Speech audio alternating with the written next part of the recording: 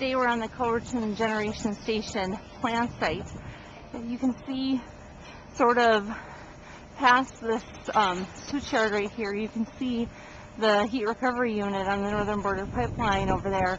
That is set to start making electricity sometime today. The electricity will flow um, on an underground line over to the plant site over here and it'll come through the substation and then go out on the transmission lines, which was a story we shot earlier this year. Joe Fiedler's taking Steve and Jared in to see the turbine here at Culbertson Generation Station. Joe worked at Leland Olds Station before this. He worked there for 19 years and now he's been up here in Culbertson for most of the construction, which he says will be nice because he'll actually basically be the plant manager once this unit is up and running.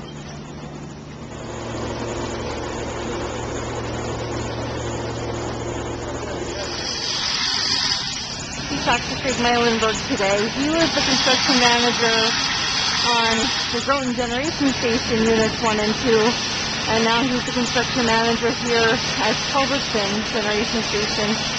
Um, Groton 1 and 2 are actually serial number 1 and 2 of the LMS 100.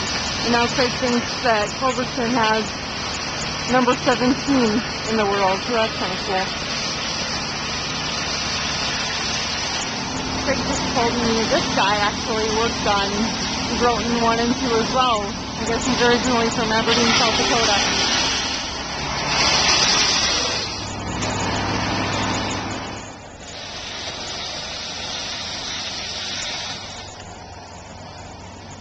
This is their covered energy generation unit at Culbertson.